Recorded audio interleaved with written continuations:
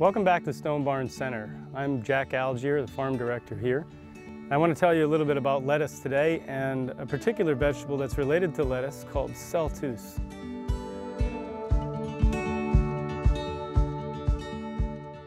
A lettuce grows round and round and round and keeps producing leaves out of the middle and it expands like a flower. Um, the longer it goes, it gets closer to actually flowering. And when that moment happens, when the trigger happens for this thing to go from being a vegetative thing, vegetative plant to a flowering plant, it very quickly starts to spiral up and makes a tall flower stalk. Big long stalk and a, produces a flower at the top. Now lettuce, it actually does produce lactose. That white milk that's inside the lettuce uh, is produced for producing that stalk and also for the flower and the seeds. When we open up the lettuce up down the middle here,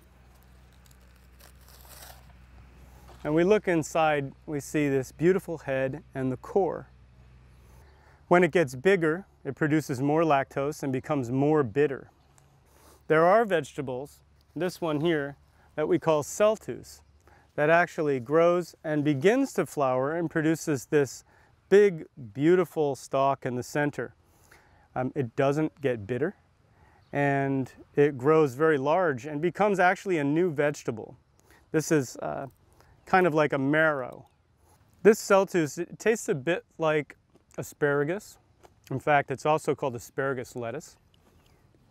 It's, uh, it's been used for, for centuries really in Southeast Asia as a standard vegetable. This is the first year we're really uh, sharing it with the rest of the public as we've learned so much about this particular vegetable and found that it is quite versatile and in a way a bit of a new vegetable for most people. Um, the only bitter edge is this, this section along the skin.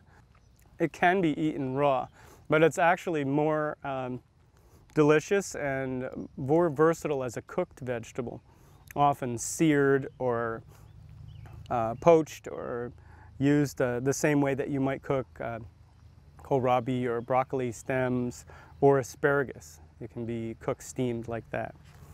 So we hope that you do come to the farm to try this out or look for this particular vegetable at your farmer's market or local restaurant. Um, Again, it's sold as celtuce or stalk lettuce or asparagus lettuce, and it is quite versatile and does come in green and purple varieties.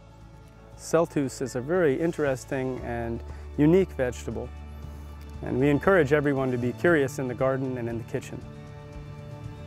If you'd like to learn more about what we do, please subscribe to our YouTube channel and check us out on the web at stonebarnscenter.org.